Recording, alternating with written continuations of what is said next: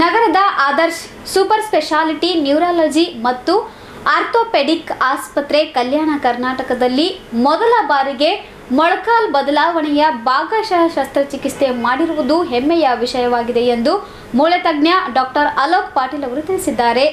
ನಗರದ ಸೂಪರ್ ಮಾರ್ಕೆಟ್ನ ಆದರ್ಶ್ ಆಸ್ಪತ್ರೆಯಲ್ಲಿ ಸುದ್ದಿಗೋಷ್ಠಿ ನಡೆಸಿ ಮಾತನಾಡಿದ ಅವರು, ಮೊಳಕಾಲು ನೋವಿನಿಂದ ಪರದಾಡುತ್ತಿದ್ದ ಮಹಿಳೆಯೊಬ್ಬರಿಗೆ ಯಶಸ್ವಿಯಾಗಿ ಹೊಸ ಚಿಪ್ ಅಳವಡಿಸುವ ಮೂಲಕ ಕಲ್ಯಾಣ ಕರ್ನಾಟಕ ಭಾಗದಲ್ಲೇ ಪ್ರಥಮವಾಗಿ ಪಾರ್ಷಿಯಲ್ ಮೊಳಕಾಲು ರಿಪ್ಲೇಸ್ಮೆಂಟ್ ಶಸ್ತ್ರಚಿಕಿತ್ಸೆ ಮಾಡಲಾಗಿದೆ ಎಂದರು. ಆದರ್ಶ ಆಸ್ಪತ್ರೆ ತಮ್ಮದೇ ಆದಂಥ ಒಂದು ಜನರಲ್ಲಿ ಒಂದು ವಿಶ್ವಾಸ ಮೂಡುವ, ಮೂಡಿಸುವುದಲ್ಲಿ ಒಂದು ಯಶಸ್ವಿಯಾದಂಥ ಕಾರ್ಯ ಒಂದು ಜನರು ಮೆಚ್ಚಿದ್ದಾರೆ ಎಂದು ಬಯಸುತ್ತಾ ಇವತ್ತಿಂದು ಮುಖ್ಯ ಉದ್ದೇಶ ನಾವು ಏನು ಇದು ಪ್ರೆಸ್ ಮೀಟ್ ಕರ್ಲಿಕ್ಕೆ ಎದಕ್ಕೆ ಕರೆದಿದ್ದೀನಿ ಅಂತ ಅಂದರೆ ತಮ್ಮ ಎಲ್ಲರಿಗೂ ಕೂಡ ಗೊತ್ತಿದ್ದಂಗೆ ನಮ್ಮ ದೇಶದಲ್ಲಿ ವಿಶ್ವದಾಗ ಕೂಡ ಆಸ್ಟಿಯೋ ಅರ್ಥ್ರೈಟಿಸ್ ಅತ್ತೆ ಎಂಬುದು ಒಂದು ಕಾಯಿಲೆ. ಆಸ್ಟಿಯೋ ಅರ್ಥರೈಟಿಸ್ ಅಂದ್ರೆ ನಮ್ಮ ಮೊಳಕಾಲ ಏನಿರ್ತೋ, ಮೊಳಕಾಲ ಅಷ್ಟೇ ಇಲ್ಲ ಪ್ರತಿಯೊಂದು ಜಾಯಿಂಟ್ಸ್ ಜಾಯಿಂಟ್ ತಂದಾದಂಥ ಒಂದು ಡಿಸೀಸ್ ಡಿಸಾರ್ಡರ್ ನಾವು ಆಸ್ಟಿಯೋ ಅರ್ಥರೈಟಿಸ್ ಅಂತೀವಿ. ಈ ಒಂದು ಡಿಸಾರ್ಡರ್ದಾಗ ನಮ್ಮ ಜಾಯಿಂಟ್ಗಳು ಖರಾಬ್ ಆಗಿಬಿಡ್ತಾವೆ. ಖರಾಬ್ ಅಂದ್ರೆ ಅದರದ್ದು ವೇರ್ ಆ್ಯಂಡ್ ಟೇರ್ ಆಗಿ, ಘರ್ಷಣೆ ಆಗಿ ಅದರ್ಲಿಂತ ಸಾಕಷ್ಟು ಒಂದು ಪೇಷಂಟಿಗೆ ಒಂದು ಡಿಸೆಬಿಲಿಟಿ ಆಗ್ತದೆ. ಡಿಸೆಬಿಲಿಟಿ ಅಂದರೆ ಒಂಥರ ಹ್ಯಾಂಡಿಕ್ಯಾಪ್ ಪೇಷಂಟಿಗೆ ತಂದು ದಿನನಿತ್ಯ ಆದಂಥ ಕಾರ್ಯ ಮಾಡ್ಲಿಕ್ಕೆ, ಚಟುವಟಿಕೆ ಮಾಡ್ಲಿಕ್ಕೆ ಸಾಧ್ಯ ಆಗಲ್ಲ. ಅದೇ ರೀತಿ ಅವರು ಓಡಾಡೋದಕ್ಕೆ ಒಂದು ಇತಿಮಿತಿ ಆಗಿಬಿಡ್ತಿದೆ. ಅದರ್ಲಿಂತ ಸಾಕಷ್ಟು ಒಂದು ಬೇರೆ ಕಾಯಿಲೆಗಳು ಅವರಿಗೆ ಒಳಪಡಿಸ್ತಾವೆ. ಡಯಾಬಿಟೀಸ್ ಆಗಲಿ ಹೈಪರ್ ಟೆನ್ಷನ್ ಆಗಲಿ ಸ್ಟ್ರೋಕ್ ಆಗಲಿ, ಈ ಇಂಥ ಒಂದು ಕಾಂಪ್ಲಿಕೇಶನ್ ಆಗ್ತಾವ. ನಮ್ಮ ದೇಶದಾಗ ಡಿಸೆಬಿಲಿಟಿಗೆ ಮೂರನೇ ಸ್ಥಾನ ಪಡೆದಿದ್ದು ಆಸ್ಟಿಯೋಆರ್ಥ್ರೈಟಿಸ್ ಅದರಲ್ಲಿ ಸಾಕಷ್ಟು ಪ್ರತಿ ಮೂರನೇ ಮನುಷ್ಯಗೆ ಇವತ್ತು ಆಸ್ಟಿಯೋಆರ್ಥ್ರೈಟಿಸ್ ಕಾಯಿಲೆ ಇದೆ. ಅದರಲ್ಲಿ ಹೆಚ್ಚಾನ ಹೆಚ್ಚು ಹೆಣ್ಮಕ್ಳದಾಗ ನಾವು ಕಾಣ್ತೀವಿ. ಗಣಸರ್ಕಿಂತಲೂ ಹೆಣ್ಮಕ್ಳದಾಗ ಇದು ರೇಷಿಯೋ ಭಾಳ ಜಾಸ್ತಿ. ಆಸ್ಟಿಯೋಆರ್ಥ್ರೈಟಿಸ್ ಅಂದಂಗೆ ನಾನು ನಿಮ್ಗೇನು ಹೇಳ್ದೆ, ಸಾಕಷ್ಟು ಮುಖ್ಯವಾಗಿ ಅದು ಎಫೆಕ್ಟ್ ಆಗೋದು ಮೊಳಕಾಲ್ ಮೊಳಕಾಲ್ ನಮ್ಮ ನೀ ಜಾಯಿಂಟ್ ಅತಿ ನಾವು ಏನೈತೀವೋ ನೀ ಜಾಯಿಂಟಿಗೆ ಎಫೆಕ್ಟ್ ಆಗ್ತಾವೆ. ಅದು ಆದ ನಂತರ ಹಿಪ್ ಜಾಯಿಂಟ್ ಶೋಲ್ಡ್ರ್ ಜಾಯಿಂಟ್ ಅದು ಆದ ನಂತರ ಬರಳಾಲಿ, ಉಳ್ಕಿ ಕಡೆ ಜಾಯಿಂಟ್ಸಿಗೆ ಎಫೆಕ್ಟ್ ಆಗ್ತವೆ ಆಸ್ಟಿಯೋಆರ್ಥರೈಟಿಸ್ದಾಗ ಸಾಕಷ್ಟು ನೂರಾರು ಪ್ರಕಾರ ಅರ್ಥರೈಟಿಸ್ ಇದೆ. ನೂರಾರು. ಅದ್ರಾಗ ಮೋಸ್ಟ್ ಕಾಮನ್ ನಾವು ಏನತ್ತೇವು? ಸಿನೈಲ್ ಆಸ್ಟಿಯೋಆರ್ಥರೈಟಿಸ್ ಅಂದ್ರೆ ಏಜ್ ರಿಲೇಟೆಡ್. ಇನ್ನೊಂದು ರಿಮೋಟೈಡ್ ಅರ್ಥರೈಟಿಸ್ ಅತಿ ರಿಮೋಟೈಡ್ ಅರ್ಥರೈಟಿಸ್ದಾಗ ಅದು ನಮ್ಮದು it is a autoimmune disorder autoimmune ಅಂದ್ರೆ ನಮ್ಮ ರಕ್ತದೊಳಗೆ ಕೆಲವೊಂದು ಜಂತುಗಳಲ್ಲಿಂತ ನಮ್ಮದು ಜಾಯಿಂಟ್ಗಳು ಡಿಸ್ಟ್ರಕ್ಷನ್ ಆಗ್ತವೆ. ಅದಕ್ಕೆ ನಾವು ರುಮೊಟೈಡ್ ಆರ್ಥರೈಟಿಸ್ ಅಂತ ಹೇಳ್ತೀವಿ. ಈಗ ಅರ್ಥ್ರೈಟಿಸ್ದಾಗ ಮುಖ್ಯವಾಗಿ ನಮ್ಮ ಮೊಳಕಾಲಿಗೆ ಎಫೆಕ್ಟ್ ಆಗ್ತದೆ. ಮೊಳ್ಕಾಲು ಹೆಂಗಿರ್ತಂದ್ರೆ ಬೇಸಿಕಲಿ ಎರಡು ಎಲ್ಬ್ ಇರ್ತಾವೆ. ಒಂದು ಮ್ಯಾಗಿಂದು ತೊಡಿ ಎಲ್ಬು ಒಂದು ಮೊಳ್ಕಾಲು ತಳಗಿಂದ ಎಲ್ಬು ಇವು ಎರಡು ಎಲ್ಬ್ ನಡ್ಬರ್ಕ ನಮ್ಮ ಕಾಲು ಮಡಿಸ್ತದ ಮತ್ತು ಚಾಚ್ತದೆ ಈ ಥರ ಈಗ ಇವು ಎರಡೂ ಎಲ್ಬ್ ನಡ್ಬರ್ಕ ಘರ್ಷಣೆ ಯಾವಾಗ ಸ್ಟಾರ್ಟ್ ಆಗ್ತದೆ ಅಂದ್ರೆ ಈ ಎರಡು ಎಲ್ಬ್ ನಡ್ಬರ್ಕ ಒಂಥರ ಕುಷನ್ ಇರ್ತದೆ ಗಾದಿ. ಇದು ಕಾ, ಗಾದಿ ವೇರ್ ಆಫ್ ಆಯಿತು. ವೇರ್ ಆಫ್ ಆದ ಬಳಿಕ ಏನಾಗ್ತವೆ? ಎರಡು ಎಲ್ಬು ಒಂದಕ್ಕೊಂದು ಘರ್ಷಣೆ ಸ್ಟಾರ್ಟ್ ಆಗ್ತವೆ. ಈಗ ಸಾಕಷ್ಟು ಜನಗೆ ಮೊಳಕಾಲು ತ್ರಾಸ ಅದ ಅಂತಂದು ಏನು ಮಾಡ್ತಾರೆ ನಮ್ಮ ಇಂಡಿಯಾದಾಗ ಅದ್ರದ್ದು diagnosis fifty percent diagnosis correct ಮಾಡಲ್ಲ.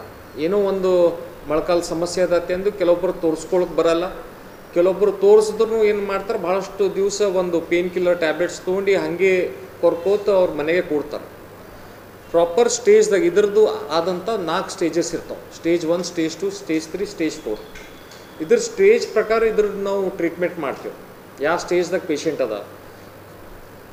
ಭಾಳ ಜಲ್ದಿ ಬಂದ್ರು ಅಂದ್ರೆ. ಇಮಿಡಿಯೇಟ್ ಅವರಿಗೆ ತ್ರಾಸು ಚಾಲು ಆದಾಗ ನಾವು ಡಯಾಗ್ನೋಸ್ ಮಾಡ್ತೀವಿ ಅಂದ್ರೆ ಅವಾಗೇ ಸಾಕಷ್ಟು ಒಂದು ಮೆಡಿಕೇಷನ್ ಆಗಲಿ ಅವ್ರದ್ದು ಲೈಫ್ ಸ್ಟೈಲ್ ಚೇಂಜಸ್ ಮಾಡೋ ಮುಖಾಂತರ, ಸ್ವಲ್ಪ ಫಿಸಿಯೋಥೆರಪಿ ಎಕ್ಸಸೈಸ್ ಮಾಡೋ ಮುಖಾಂತರ ಅವ್ರಿಗೆ ನಾವು ಅಲ್ಲೇ ಪರಿಹಾರ ಫಸ್ಟ್ ಸ್ಟೇಜ್ದಾಗ ನಾವು ಕೊಡಿಸ್ಬೋದು. ಕೊಂತಾಗೂ ಮಾಡಿದ್ದೀವಿ. ಸುಮಾರು. ಅಂದಾಜ್ದಾಗ ಹೇಳ್ತೀನಿ. ಯಾಕಂದ್ರೆ ಅಷ್ಟೊಂದು ಕೌಂಟ್ ಯಾರಿಗೂ ನೆನ್ಪಿಡ್ಲಿಕ್ಕೆ ಸಾಧ್ಯ ಇಲ್ಲ. ಹಾಗೆ ನಮ್ಮ ಆದರ್ಶ ಆಸ್ಪತ್ರೆಯಲ್ಲಿ ಕೂಡ ಈಗ ನಾವು ಆದರ್ಶ ಆಸ್ಪತ್ರೆ ಸ್ಟಾರ್ಟ್ ಮಾಡಿ ಸುಮಾರು ಐದು ವರ್ಷ ಆಯಿತು. ಐದು ವರ್ಷದಾಗ ಸಾಕಷ್ಟು ಒಂದು ಸುಮಾರು ಎಂಟುನೂರ್ಲಿಂತ ಒಂದು ಸಾವಿರ ಪೇಷಂಟ್ಸ್ ನಾವು ಆಪ್ರೇಟ್ ಮಾಡಿದ್ದೆವು ಅದು ನಾನಾ ರೀತಿಲಿಂತ ಆಕ್ಸಿಡೆಂಟ್ ಟ್ರಾಮಾ ಇರ್ಬೋದು, ಮತ್ತು ಡಿಫಾರ್ಮಿಟಿ ಕರೆಕ್ಷನ್ ಆಗಿರ್ಬೋದು ಆರ್ಥ್ರೋಸ್ಕೋಪಿಕ್ ಪ್ರೊಸೀಜರ್ ಇರ್ಬೋದು ಕೀ ಹೋಲ್ ಸರ್ಜರಿ ಏನು ನಮ್ಮ ಮೊಳಕಾಲ್ದಲ್ಲಿ ನಮ್ಮ ಶೋಲ್ಡರ್ ಜಾಯಿಂಟ್ದಲ್ಲಿ ನರಗಳು ಡ್ಯಾಮೇಜ್ ಆಗಿರ್ತಾವ. ಅವು ಜಾಯಿಂಟ್ ಲಿಗಮೆಂಟ್ ರಿಪೇರ್ ಮಾಡೋಂಥ ಒಂದು ಆರ್ಥೋಸ್ಕೋಪಿಕ್ ಪ್ರೊಸೀಜರ್ಸ್ ನಾವು ಮಾಡಿದ್ದೇವೆ.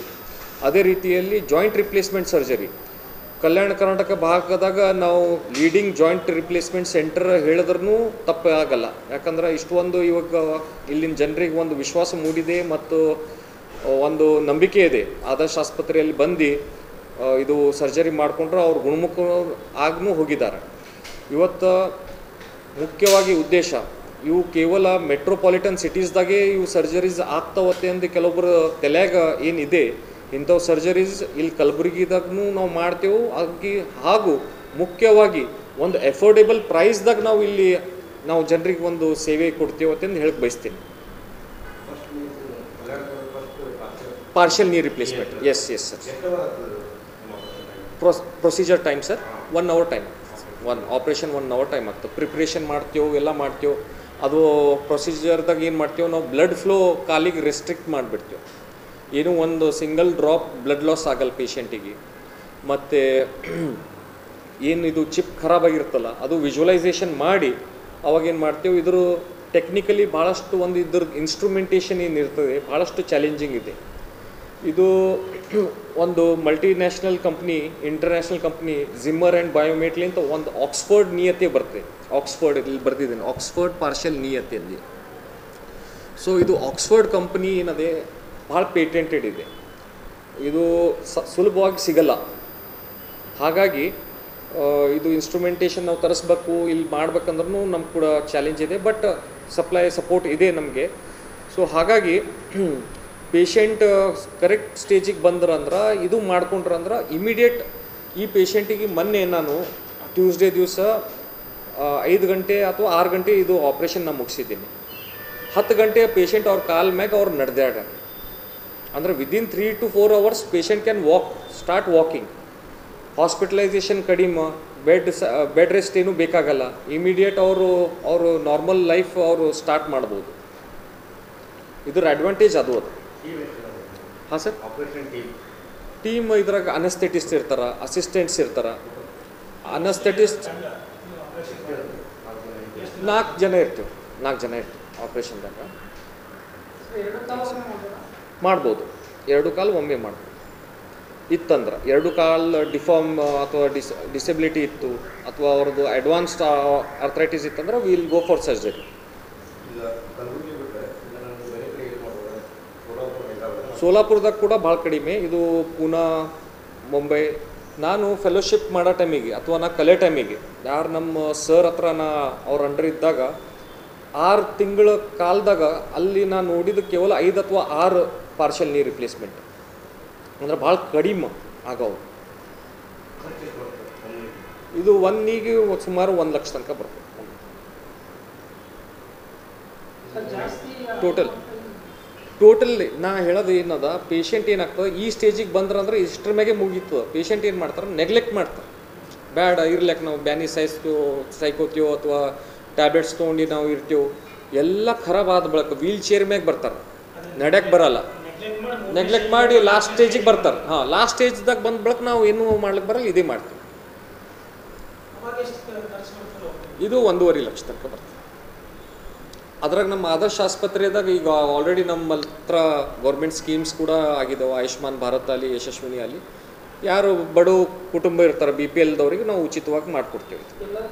ಇದು ಎಲ್ಲ ರಿಪ್ಲೇಸ್ಮೆಂಟ್ ಸರ್ಜರಿ ಉಚಿತವಾಗಿ ಆಗ್ತದೆ. ಎಲ್ಲೂ ಮಾಡಿಲ್ಲ ಸರ್. ಪಾರ್ಷಲ್ಲಿ ಇದು.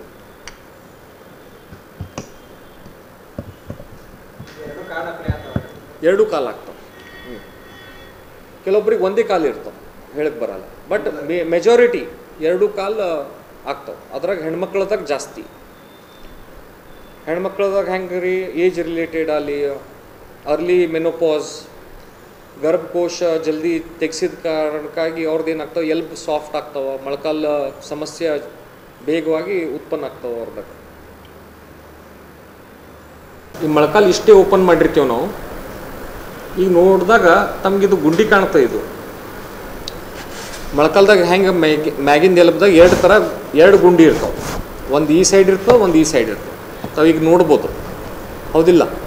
ಈಗ ನಾವು ನೋಡಿದಾಗ ಈ ಗುಂಡಿ ಒಳಮಗ್ಗಲ್ ಮೊಳಕಾಲ್ ಒಳ ಮಗ್ಗಲ್ ಅಂದ್ರೆ ನಾವು ಮೀಡಿಯಲ್ ಸೈಡ್ ಹತ್ತೇವು. ಯಾವ ಥರ ಇದು ವೇರ್ ಆಫ್ ಆಗಿರ್ತಾವೆ ನೋಡ್ರಿ. ಒಂಥರ ತೆಗ ಬಿದ್ದುಬಿಟ್ಟೆ ಮೊಳಕಾಲ್ ಒಳಗೆ ಒಂಥರ ತೆಗ ಬಿದ್ದುಬಿಟ್ಟೆ ತೆಗ ಬಿದ್ದಿದ್ದು ಮತ್ತು ಈ ಸೈಡ್ ನಾರ್ಮಲ್ ಇರ್ತದೆ. ಈ ಸೈಡ್ ಏನೂ ಸೌಂಡ್ ಇರಲ್ಲ. ಅದಕ್ಕಾಗಿ ನಾವು ಪಾರ್ಷಲ್ ಮಾಡ್ತೀವಿ. ಸಪೋಸ್ ಈ ಸೈಡ್ನೂ ಸೌಂಡ್ ಇತ್ತು. ಈ ಸೈಡ್ನೂ ಘರ್ಷಣೆ ಆಗಿತ್ತು ಅಂದ್ರೆ ಅವಾಗ ನಾವು ಟೋಟಲ್ ನೀರು ರಿಪ್ಲೇಸ್ಮೆಂಟ್ ಮಾಡ್ತೀವಿ.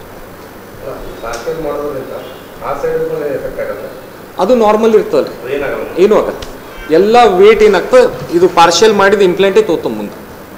ಮಾಡಿದ್ರಲಿಂತ ಇದು ನಾವು ಮಾಡಲಿಲ್ಲ. ಹಾಗೆ ನೆಗ್ಲೆಕ್ಟ್ ಮಾಡಿದ್ರು ಪೇಷಂಟ್ ಅಂದರೆ ಈ ಸೈಡ್ ಖರಾಬ್ ಆಗ್ಲಿಕ್ಕೆ ಸ್ಟಾರ್ಟ್ ಆಗ್ತದೆ. ಆಟೋಮೆಟಿಕ್ಲಿ ತಾವು ನೋಡ್ಬೋದು. ಈ ಥರ ಸೌಂಡ್ ಹೋಗಿರ್ತದೆ ಮತ್ತು ಇದು patient X-ray post operative X-ray ಪೇಷಂಟ್ದು operation ಆದ ಬಳಿಕಿಂದ ಎಕ್ಸ್ರೇ ಈ ಥರ ಆಪ್ರೇಷನ್ಗಿಂತಲ ಮುಂಚಿತವಾದಂಥ ಎಕ್ಸ್ರೇ ಇದು. ತಾವು ನೋಡಿಕತ್ತೀರಿ ಇದು ಮ್ಯಾಗಿಂದ ಎಲ್ಬ, ಇದು ತೆಳಗಿಂದ ಎಲ್ಬ. ಈ ಎರಡು ಎಲ್ಬ್ ನಡ್ಬರ್ಕ್ ಈ- ಈ ಸೈಡ್ ಗ್ಯಾಪ್ ಅದ but when you see this side medial side it is on already bone on bone uh, uh, which uh, who underwent a surgery, knee tra- actually partial knee transplant surgery, just two days back. I was uh, suffering a lot from my knee problem, and I just consulted uh, Dr. Alok Patil. He assisted me very nicely, and from day one, he was very familiar and confident about his treatment. And he explained me very well the things I was uh, undergoing with my knee issues, and proper treatment was uh, given from day one to me. And after that uh, he was very much uh, like familiar. And i was very much relaxed with talking to him. And i was very much confident that this doctor will help me out very nicely so now i'm feeling very much better. Because of my knee issues i was very much stressful and uh, very much like uh, uh, i lost my even i lost i was feeling very tired and everything. But now i'm very much relaxed. And the staff here and uh, not but the least uh, dr shweta patil a neurosurgeon uh, wife of dr alok patil. Even she assisted me very nicely in my major issues like iron and uh, hemoglobin countdowns so she was very helpful and kindful. And now i'm very much uh, feeling very much better. The staff here at adarsh hospital Gul- uh, supermarket is very very caring supporting and helpful. So i'm very much satisfied with the doctors with the staff and with uh, everyone here. Thank you. Thank you